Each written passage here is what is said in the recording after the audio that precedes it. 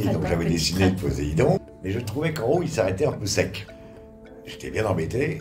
Le promoteur à l'époque c'était Monténégro, qui était, euh, avec qui je m'entendais excessivement bien. Enfin bon, il m'aimait beaucoup parce que le malheureux avait perdu son fils dans un accident de plongée. J'étais avec lui quand il l'a perdu. Et il a fait un transfert. Et euh, donc je construisais tout ce qu'il construisait, je le construisais pour lui. Euh, là-haut, je trouvais que ça se terminait mal.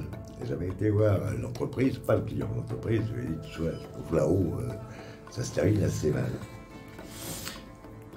Et l'entreprise m'a dit, écoute, nous on a là-dessus, on n'a pas eu de problème avec toi, ça s'est passé sans problème. Dessine-moi quelque chose, je te le fais. À l'œil. Et j'ai dessiné la fameuse couronne, comme tu dis, qui termine le. le- le- le- Parce que ce volume est un volume très difficile, plus difficile que les pyramides. Cette ellipse, euh, euh, elle est lourde. Elle est d'abord lourde dans ce sens-là, parce que c'est. Mais en plus, elle s'ouvre comme ça.